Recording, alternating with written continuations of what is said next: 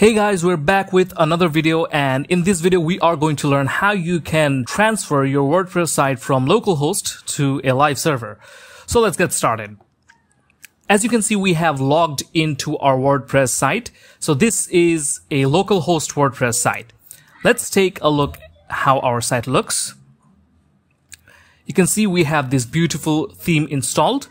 This is actually a Kadence starter template that we are using and you can see how beautiful it is. It's really perfect for fast food or restaurant business. You can see. So let's take a look at some of the other pages. So we have the reviews page.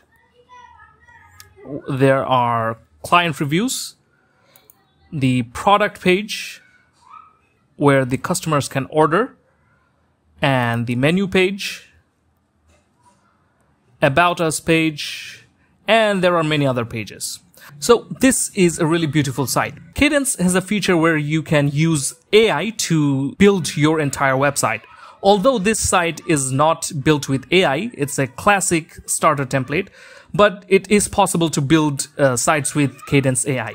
We already have a tutorial on this topic. If you want to learn how you can build site with Kadence AI, check that tutorial. We will leave the link in the description down below. So let's get back to our dashboard. And to transfer this site from localhost to live server, we need a plugin. So we will be using Updraft Plus. So we're going to hover our mouse over plugins and click on add new plugin. From here, we are going to search for Updraft Plus.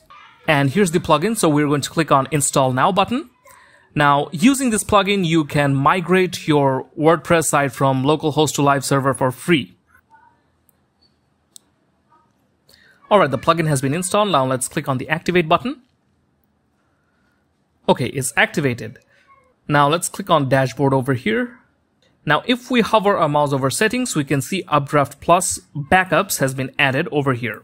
First, we need to back up our site. So what we are going to do is click on this backup now button. And here you can see there are three settings.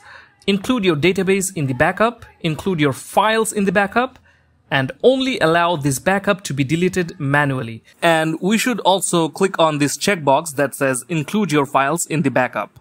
And after we click on this checkbox, we're going to uh, click on these three dots. And here you can see uh, it says your saved settings also affect what is backed up. So the files included are plugins, themes, uploads, and any other directories found in WP content. So we're going to select all of these you can see there is another option called must use plugins, which says none present. That means our localhost site doesn't have any must use plugins. So this checkbox is disabled. We cannot select it. You can see here. But if Updraft Plus detects any must-use plugins on your site, then this checkbox will be available to select and you must select it to take a proper backup. And then we're going to um, click on these three dots to close this up. And there's another option that says backup won't be sent to any remote storage. None has been saved in the settings. So if you want to store your backup in a remote storage, you can click on settings. And from here, you can choose which remote storage you want to store your backup to. There is Updraft Vault, FTP, Dropbox, Microsoft Azure, and so many more options. But this is actually for backup purposes. Since in this video we are going to migrate our site, this is actually not necessary for our tutorial.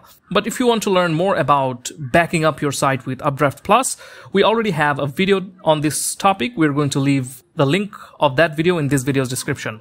So let's click on the backup and restore tab. And from here, we're going to click on the backup now button. And we're going to select these two and this is not necessary for this tutorial, so we are going to leave it unselected. Now let's click on the backup now button and it's saying requesting start of backup. So we have to wait a few seconds.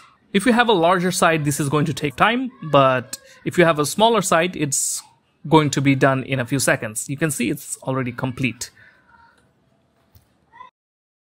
Alright, so we have a backup over here. Now we are going to download all these files in our computer, the database, plugins, themes, uploads, and others.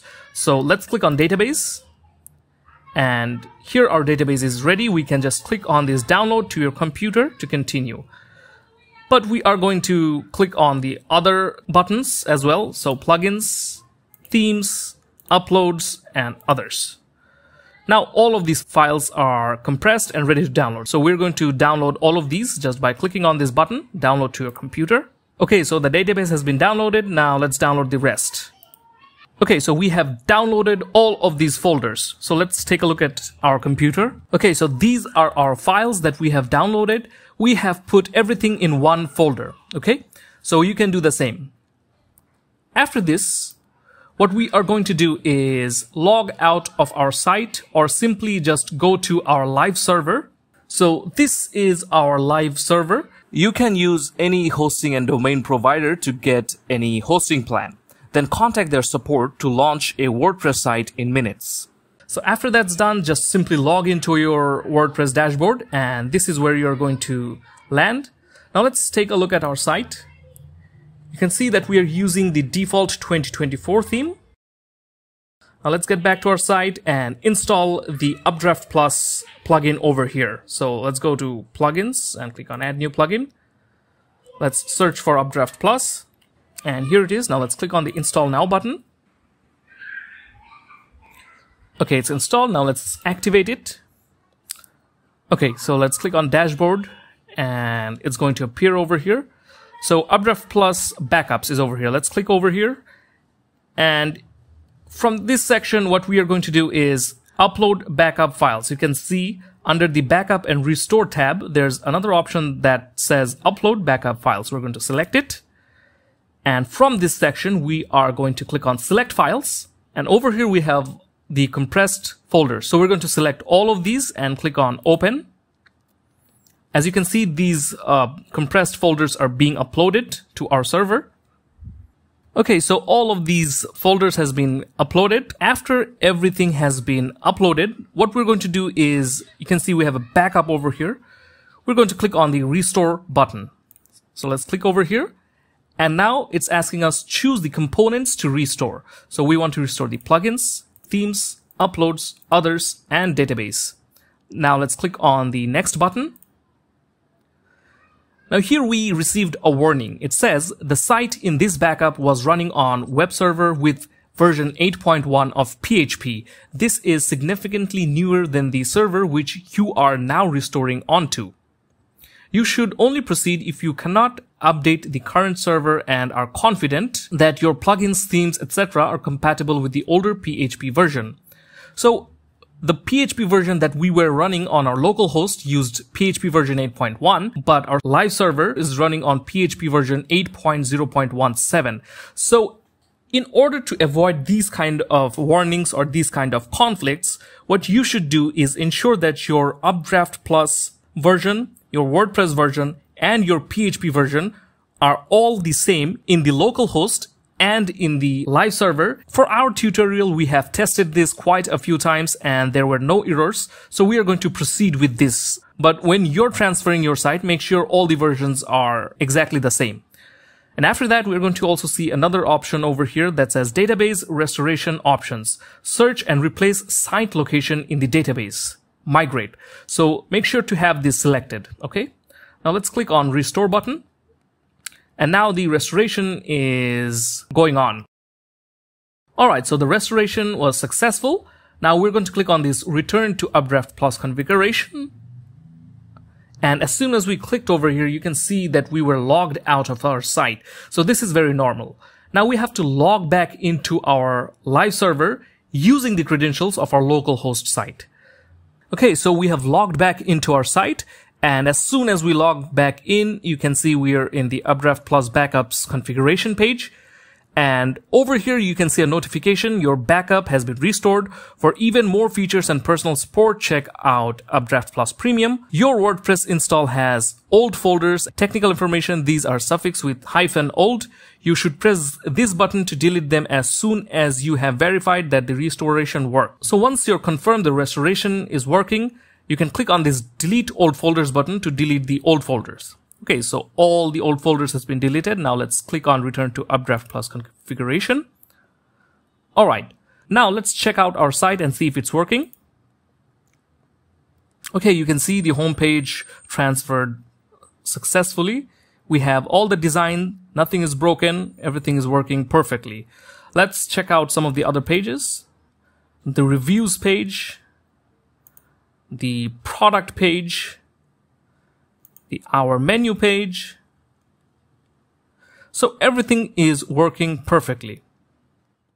Please note that, due to server-related reasons, some users may face a 404 error for internal pages after the migration. If that happens, Updraft Plus usually notifies that at the finishing screen. It will also offer some help document links. In that case, you may need to restart your VPS or contact your hosting support to fix the issue. But if you're using WordPress plain permalink structure for the local host and the live site, then you might not face this issue in the first place. Now let's head on back to the dashboard and basically that's how you can transfer your site from localhost to live server for free using Updraft Plus. Now, if you want to change your user password, you can easily do that by going to users and over here, there's the admin user. Just click on this edit button and you can change the user password. Okay. So I hope this video was helpful for you guys. If you found this video helpful, give this video a like and subscribe to our channel for more helpful videos on WordPress. So thank you for watching and see you in the next video.